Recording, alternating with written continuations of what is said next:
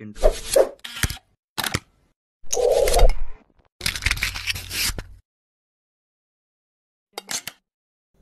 Thousand twenty டூக்கான IPL கப்பை அடிச்சாச்சு. அடுத்து என்ன? செலிப்ரேஷன் தானே? இவ்வளோ நாள் நம்மளை செலிப்ரேட் பண்ண ஃபேன்ஸோடு சேர்ந்து எந்த ஒரு மூமெண்ட்டை செலிப்ரேட் பண்ணணும் அப்படின்னு ஜிடி அதாவது குஜராத் டைட்டன்ஸ் வந்து பார்த்தீங்கன்னா அந்த வின் பண்ண கப்போட ஒரு சூப்பரான ரவுண்ட் போயிருக்காங்க தன்னோட ஃபேன்ஸ் மத்தியில். ஹர்திக் பாண்டியா முன்னாடி நின்று இந்த டீம் எப்படியெல்லாம் இருந்தது அப்படின்னு வின்னிங் மூமெண்ட் அப்போ நிறைய பேசினாரு. அது எல்லாமே நம்ம பார்த்தோம். அண்ட் அதை திறந்து இப்போ இவங்க செலிப்ரேஷன் போனப்போ அந்த ஹோல் டீம்மே ஃபேன்ஸ் வெல்கம் பண்ணது.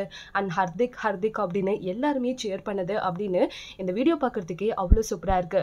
ஒருத்தரும் அந்த கப் வச்சுட்டு அந்த மூமெண்ட்டை எப்படியெல்லாம் எக்ஸ்பிரஸ் பண்ணுறாங்க அப்படின்றத பார்த்தோம் அண்ட் அதை தொடர்ந்து இவங்க ஃபர்ஸ்ட் டைமாக கப் வின் பண்ணுறாங்க அப்படின்றது ஒரு பெரிய விஷயம் தான் ஏன்னா டூ தௌசண்ட் டுவெண்ட்டி டூ ஐபிஎல்லை பொறுத்த வரைக்கும் எக்ஸ்ட்ரா ரெண்டு புது டீம் வந்தது அகமதாபாத் குஜராத் அப்படின்னு.